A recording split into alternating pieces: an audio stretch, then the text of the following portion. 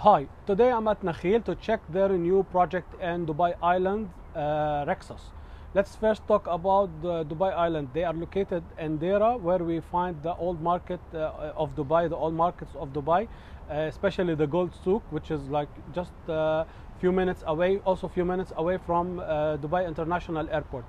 Uh, there's five islands, uh, and they will provide 20 kilometers of uh, beaches uh, around this uh, area.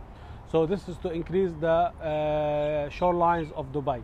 Also, I would like to talk more about Nakheel, the developer. Nakheel is uh, one of the major developers in Dubai, or the mega developers in Dubai. They uh, they developed uh, Palm Jumeirah, the well-known Palm Jumeirah, and it's a very well-known developer uh, in Dubai.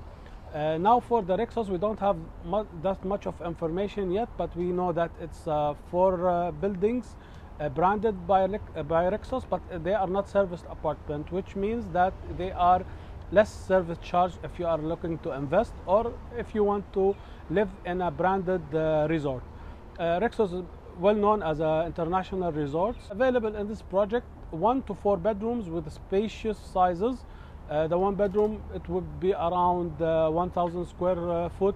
The two bedrooms uh, would be around 1,500 square uh, foot. The prices will range between 2,500 dirhams per square foot, which is a very good price if you are looking to invest. Still more information will come and the, the official launch will be in a few days where I will make a new video to talk more. But if you are interested in this project, you can contact me as soon as possible. My name is Bassam.